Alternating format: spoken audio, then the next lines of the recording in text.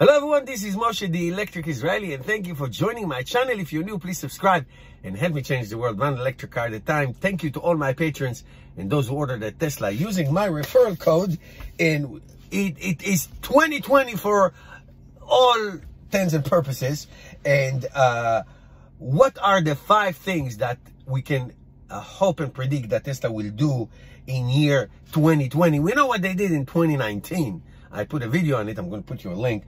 Uh, but what what are they going to do? What to expect in 2020? So I think that this is in particular order. You know, sometimes we say in no particular order. This is in particular order. This is from number one to number five, and there's a bonus at the end that I think that they're going to do and they should do. First of all, is the Model Y. The Model Y is probably going to be the biggest news. I know everything else is very sexy and all that stuff, but producing and selling Y is essential essential.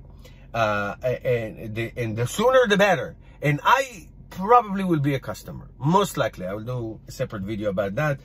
Uh, uh, of the. Model Y is important. It's a huge segment. So we'll see what happens. We all know the prices. We all know the trims. You know, it's a wonderful car. Model Y is number one in my opinion. Number two is Model S and X. Maybe it'll get a refresh. You know, talk about the tri-motor, the plaid uh, tri-motor. I could be that their in interior will probably look like the Model 3 or and the Model Y. Uh, it is, Elon Musk said they will be in maybe uh, uh, uh, a sentimental value. But don't forget, the Model S and Model X were the almost the reason why we're here now we tested. They are very important and there is a market for them. People love them. People love them and people buy them. So I think it's very important that they get that tri-motor, they get a refresh and they can have, you know, like a resurrection uh, uh, of their uh, uh market and their share and people buy. People, a lot of people buy used Teslas. And who sells, who sells their Tesla? Rich people have nothing to do with it because they want a new one. So it's very important. Used Teslas are big and for them to be used, somebody has to sell their old Tesla. So that's why it's important. Do not discount that. Number three, thousands of reservations were made for the Tesla semi-truck. And uh, this is a five to twenty thousand dollars reservation. This is not a hundred dollar for my Cybertruck. So that's very, very important that they come out somehow this year uh, uh, in some capacity, limited or a little more expanded. But the semis, it's due. It's time. It's time to come out. Uh, number four, the battery day. Sometime this year, early, maybe in the next, maybe in the first quarter, maybe in the middle, second quarter. Uh, we're talking about a, a, battery technology that can change the world, really. Uh, Elon Musk talk about a million miles battery. A million miles battery is, is a big deal. And the battery day, the battery investment day that was announced uh, should take place this year. And I think it's very important. Now, the, the, the event, it's important.